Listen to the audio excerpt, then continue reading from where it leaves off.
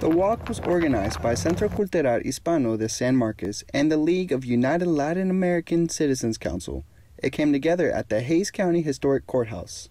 The organization of this walk went over several months, uh, visiting with uh, Gloria Salazar, the, the coordinator for Centro Cultural, with LULAC, which is me, and, and my wife Cynthia. The walk called attention to the Latin American influences in San Marcos and the diversity of the city's Hispanic heritage. The reason for doing all of this, apart from bringing the awareness to the Latino community, is all the proceeds from this walk are for scholarships for students. For me, it's orgullo. It's being proud of the, the culture that we have, the contributions that we've made to America, uh, being recognized. Hispanic Heritage Month will continue until October 15th. Organizers say they hope it will inspire Hispanics to value their culture. For Bobcat Update, I'm Abner Murillo.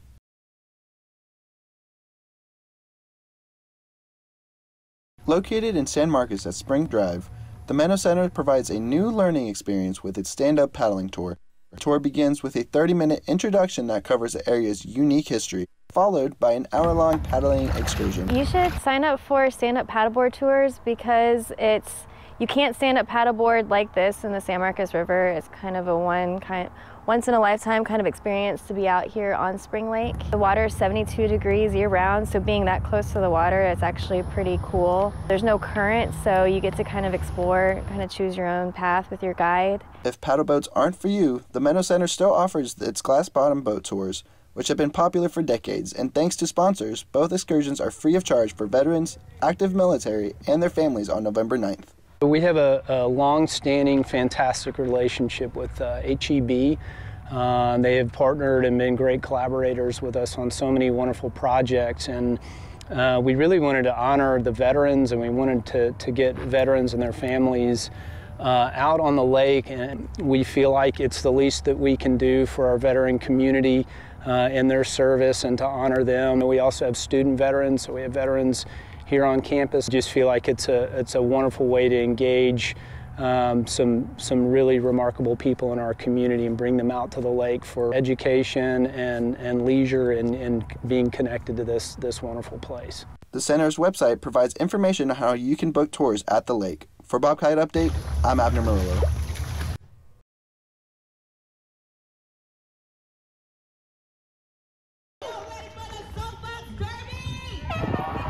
Texas State's Soapbox Derby was held at Ingram Hall.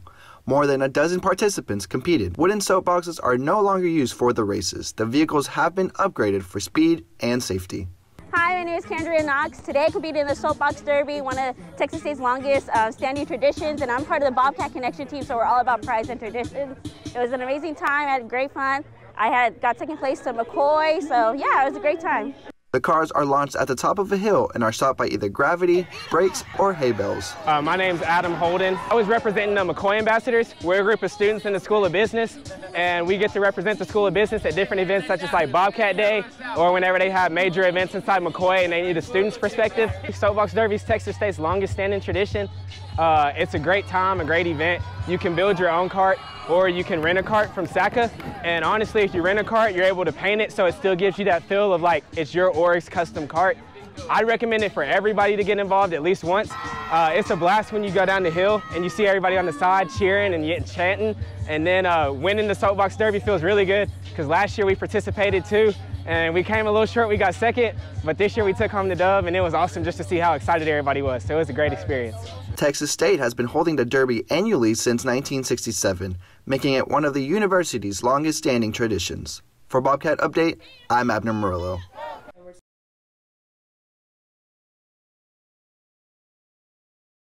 Depending on the store, each one will have different sales. Employees in stores like Reebok and Nike have been stocking up to prepare for the special day, the Friday after the Thanksgiving holiday. So recently we've been preparing by organizing shipment. We've been getting a lot in. Our demand is really high, especially with the holiday season. We have been working on organizing our team, getting them together, making sure they're prepared. We're planning group meetings just to make sure we're on top of everything. As far as I know, all of our store is going to be 50% off everything. I believe our clearance rack is going to stay the same. We still will have our doorbusters going on. Um, but other than that, it should be a promotion that's lasting a week long. Each business has a schedule to get their staff ready for customers.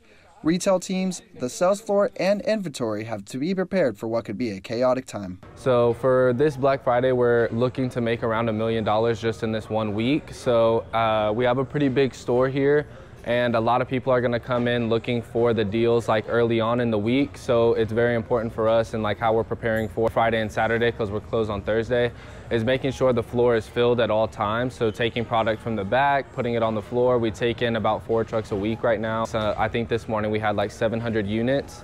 Um, and it's all about getting getting everything organized in the back of house so that we can bring it out to the floor as stuff is bought. That way when friday comes around the floor is completely filled for for people to shop around and get whatever they need for those unable to make it to this year's Black Friday sales, keep an eye out for Cyber Monday the following week. For Bobcat Update, I'm Abner Murillo.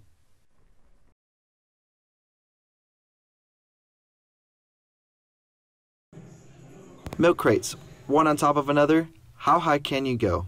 It provided a fun and wobbly activity. This is my first time. I actually heard of it uh, before because all my friends would come and do it.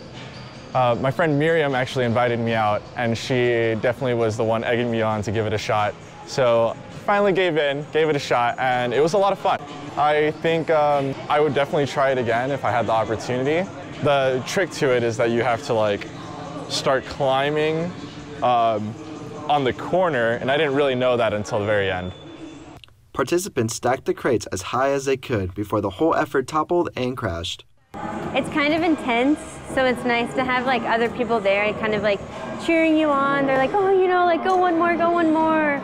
Or just like the person that's like handing you the crate. It's like really nice because it's like they're very calm and you're like, I'm trying not to fall. So yeah, it's, it's a pretty unique experience. The next uh, one that we have would be December 2nd from 7 to 9. The Rec Center's website provides information on how to participate in the next crate stacking event. For Bobcat Update, I'm Abner Murillo.